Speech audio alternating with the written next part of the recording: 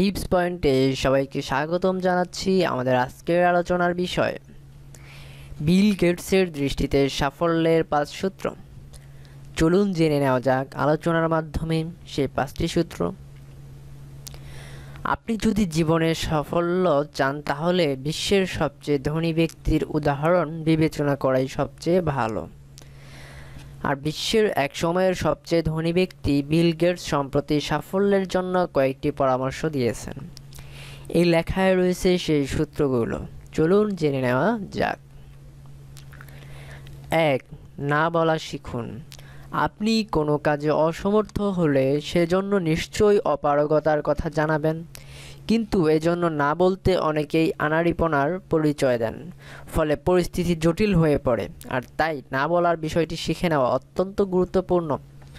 এই পরামর্শটি Bill Gates পেয়েছেন বিশ্বসেরা একজন বিনিয়োগকারী ওয়ারেন বাফেটের কাছ থেকে। দুই সমালোচনা গ্রহণ করুন। সমালোচনাকে অনেকেই ভালোভাবে নিতে পারেন না। যদিও বিল গেটসের পরামর্শ হলো, সমালোচনাকে সবসময় সাদরে গ্রহণ করতে হবে। সমালোচনাকারীর কথা ভালো না লাগলেও তা মনোযোগ দিয়ে শুনতে হবে এবং তা থেকে নানা দোষ ত্রুটির সমাধানের পথ খুঁজতে হবে। তিন, আশাবাদী হওয়া। আশাবাদী হওয়ার বিষয়টি অনেক সহজ মনে হলেও অনেকের পক্ষে আশাবাদী হওয়া কঠিন। আর আশাবাদী না হলে কোনো বিনিয়োগ কিংবা ব্যবসায় শুরু করা সম্ভব নয়। আশা ছাড়া দুর্গম চলার পথে এগিয়ে যাওয়া অসম্ভব।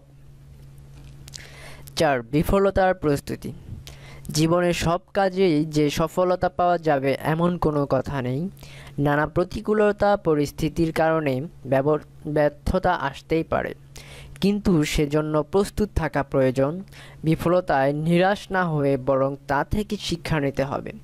পূর্ণোদ্যমে নতুন কাজে ঝাঁপিয়ে পড়তে হবে। পাঁচ, লক্ষ্য নির্ধারণ ও সেদিকে অগ্রসর হওয়া।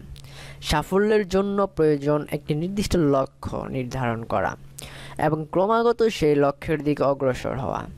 জীবনের লক্ষ্য নির্ধারণ না করতে, করলে অগ্রসর হওয়ার উপায় থাকে না। তাই নির্দিষ্ট একটি লক্ষ্য নির্ধারণ করে সে লক্ষ্য অনুযায়ী সব কার্যক্রম পরিচালিত করতে হবে। আপনার জীবন সুন্দর করে তুলতে, গড়ে তুলতে আমাদের চ্যানেল টিপস পয়েন্ট সাবস্ক্রাইব করবেন। নিয়মিত ভিডিও আপডেট পেতে অবশ্যই আমাদের সাথে থাকতে চ্যানেলটি সাবস্ক্রাইব করুন। ভিডিওতে লাইক, শেয়ার ও কমেন্ট করতে ভুলবেন ধন্যবাদ আমাদের সাথে থাকার জন্য, আমাদের ভিডিও দেখার জন্য।